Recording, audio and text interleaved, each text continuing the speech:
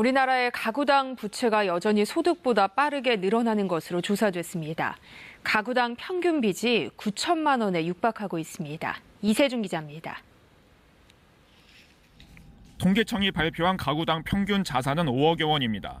이 중 부채가 8,800여만 원으로 1년 전보다 6.6% 늘었습니다. 반면 소득은 6,100여만 원으로 3.4% 늘어나는데 그쳤습니다.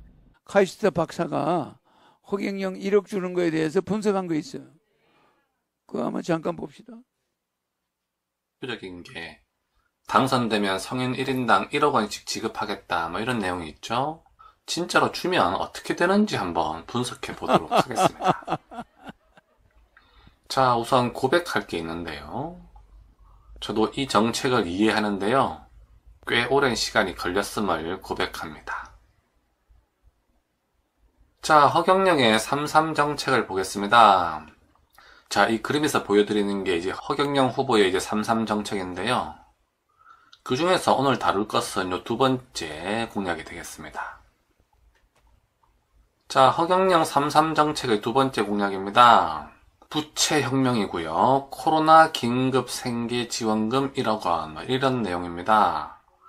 자, 상세 내용을 보시면 18세 이상 성인 국민에게 코로나 긴급 지원금 1인당 1억 원씩 지급한다고 합니다. 자, 그 목적은요. 현재 전 국민의 대부분이 지금 대출을 안고 있기 때문에 부채 상환에 도움을 주고자 한다고 합니다. 자, 이거 얼핏 들으면 허황된 표파리용 공약처럼 보입니다. 하지만 자세히 한번 분석해 보도록 하겠습니다. 자, 재원 마련은 어떻게 하나요? 뭐 이런 질문 하실 수 있어요. 자, 우리나라 성인 인구수가 약 4,200만 명입니다. 그래서 1인당 1억 원씩 주게 되면요.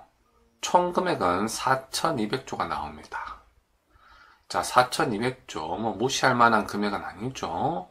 자, 참고로 우리나라 1년 국가 예산이요. 현재 한 600조 정도 됩니다. 그리고 국가 부채가 한 2,000조 정도 됩니다.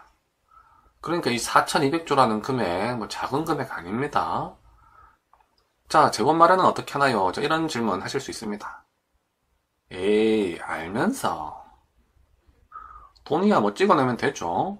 자, 이거 뭐 주식 하시는 분들은 뭐 다들 아실 텐데요. 돈이라는 거요. 그냥 찍어내면 되는 겁니다. 그래서 재원 마련 걱정은 안 해도 됩니다. 자, 그럼 4,200조에 해당하는 돈을 찍어내면 부작용은 없나? 그걸 한번 보도록 하겠습니다. 자, 없던 돈 4,200조 찍어내면 부작용은 없나? 뭐 부작용 당연히 있긴 있죠. 돈 가치가 하락하고요. 물가가 상승하고요. 거기에 따라 자산 가격이 상승할 겁니다. 특히 뭐 주식이나 부동산의 가격이 상승하겠죠? 이런 부작용이 있을 수 있습니다. 그래서 그 내용을 조금 더 자세히 보도록 하겠습니다. 자, 진짜로 1억씩 주면 어떻게 되는지 상세 분석을 해보도록 하겠습니다. 자, 이 그림은요. 부자와 보통 사람과 빈곤층에 대해서 재산 및 부채를 나타낸 그림입니다. 자, 우리나라 통계에 따르면요. 보통 사람이 가지고 있는 재산이 한 3억 정도 됩니다. 우리나라 그리고요. 부채는 3억, 한 3억 가지고 있어요.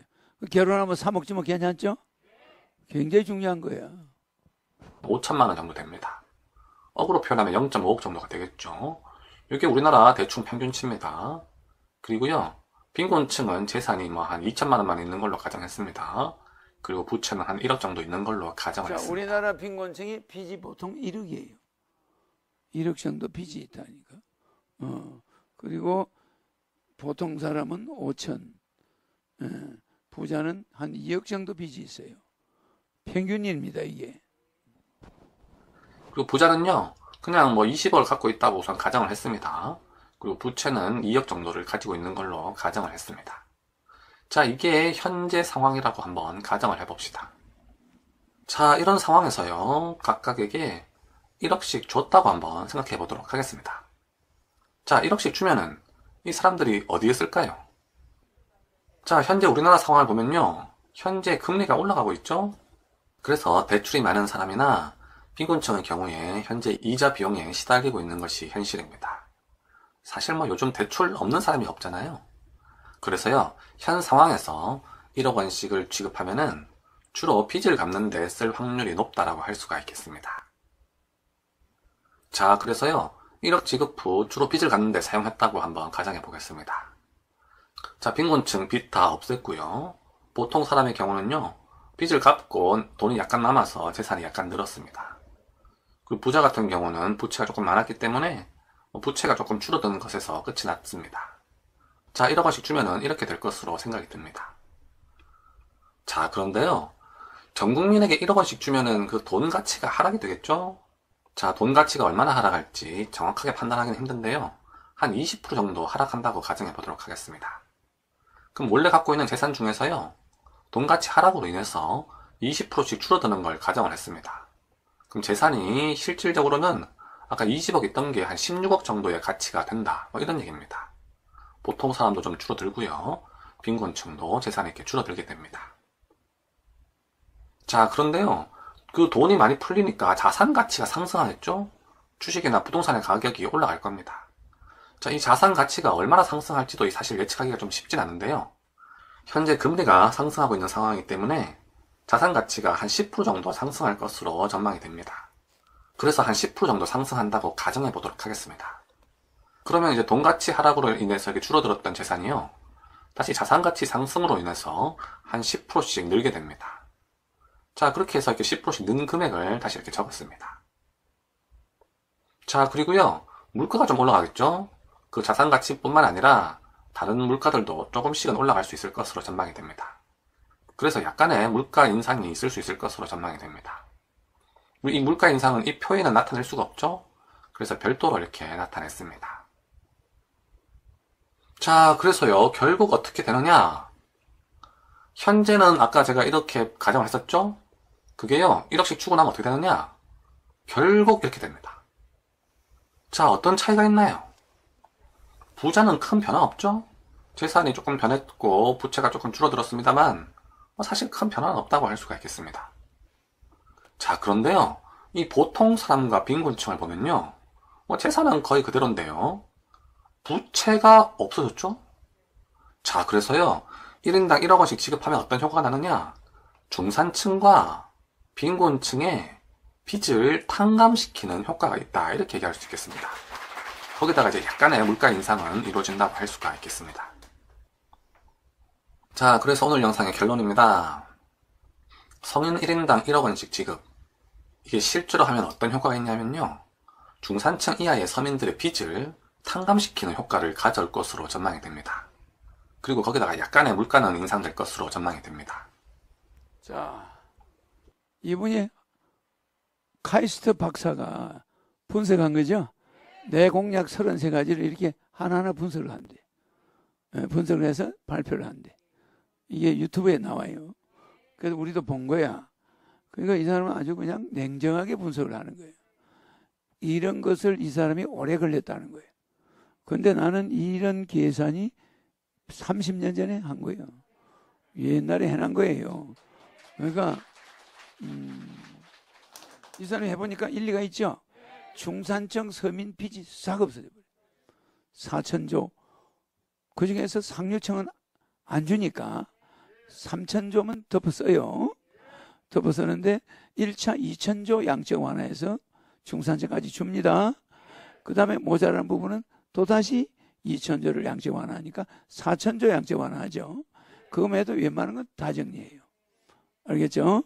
그러면 우리나라의 국가 부채 비율이 일본이 265% 우리가 45%거든. 그럼 우리가 어떻게 되냐? 245%가 되는 거예요. 그럼 일본보다 좀 낫죠. 그래도 예, 그러니까 OECD 평균이 한 170%뭐 이렇게 되니까 많은 부채가 아닙니다. 그 대신에 우리 국민들은 이제 빚에서 벗어난 거야. 아. 그 다음에 4천조라는 돈이 풀렸기 때문에 경제가 활성화되어 버립니다. 저 사람은 부채만 내려갔다고 그러죠? 부채만 내려간 게 아니라 저 돈이 돌아다녀요. 그러니까 경제가 활성화돼요. 세수가 늘어나는 걸 계산하는 거야. 세금 수입이 늘어나요. 국민들이 4천조 라는 돈이 없다가 생겼잖아요. 그러면 이게 도는 거야. 돈이 돌아요.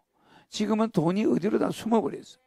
근데 돈이 도니까 뭘, 야, 우리 가게 하나 내겠다 하면 돈들이 막 모여? 알겠죠? 어, 그 다음에 또 이 사람이 빠트를 먹은 건 서민들의 신용이 올라갑니다. 국민들 신용이 올라가요. 그러면서 이, 그 직장이 늘어납니다. 왜? 사천조가 기업들한테로 들어가거든. 막 흐르, 돈이 흐르잖아. 그러니까 기업들이 장사하다 하려니까 직원을 늘려. 그막 늘리다 보면 어떻게 돼요? 고용이 늘어나죠. 이래서 직장이 또 늘어나요. 이런 것까지 여, 어, 어, 이 카이스트라서 그렇지 옥스, 하버드 같으면 좀 더 자세히 나올 텐데 어, 카이스트는 한계가 있죠. 신인을 따라올 수가 없지. 어, 알겠죠? 그러니까 고용이 늘어나면서 경기가 활성화돼요. 맞아, 맞아. 어, 그리고 국민들이 저 1억씩을 받은 이후에는 애국심이 좀 생겨요. 나라에 대해서. 어, 그래서 부부싸움이 빚 때문에 많이 생기는데 싹 줄어들어요. 이혼율이 줄어들면서 출산이 증가해버려요. 이상하죠? 그러니까 이게 이익을 보는 게 한두 가지가 아니에요. 여기는 이제 그렇게만 했는데 실제는 출산 정책에도 효과를 줘버려요. 사, 사천조가 풀리니까. 그래 안 그래요? 어, 곳간에서 인심 난다고. 에? 그냥 남자가 돈 걱정 서로 안 하고 살만하니까 애 하나 더 낳자. 뭐 이렇게 되는 거야. 어? 맞아, 맞아요. 이렇게 되면 인구도 늘어나는 효과가 나오는 거야. 45조씩 연간 쓸 필요가 있나? 그거 안 써도 인구가 늘어나. 그러니까 1억 주는 효과가 어마어마하고 또 거기다 매월 150만 나오니까 싸울 일도 안 싸워 부부지간에. 뭐 생활비 나오는데 뭐하러 싸워? 그래 안 그래요? 어. 그 마누라 눈치를 안 주는 거야 그냥. 돈 벌어오면. 벌어오는 거 안 벌어오면 안 벌어오는 거 그냥. 좋게 넘어가다 보니까 인구도 늘어나고 사람들도 여유가 생겨.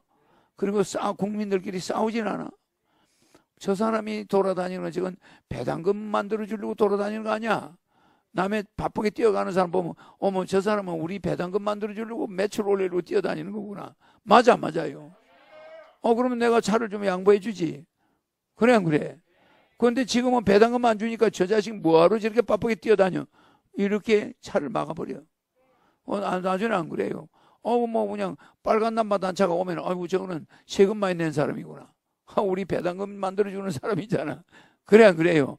그러니까 국민이 있는 사람과 없는 사람이 화합이 되는 거예요. 엄청 효과 큽니다. 그러니까 우리가 한번 뒤집는 것도 매력이 있잖아. 그죠? 우리의 젊은이들이 한번 혁명을 일으켜 볼 필요가 있잖아. 우리의 20대들이, 30대들이 저력을 한번 발휘해 볼 필요가 있잖아.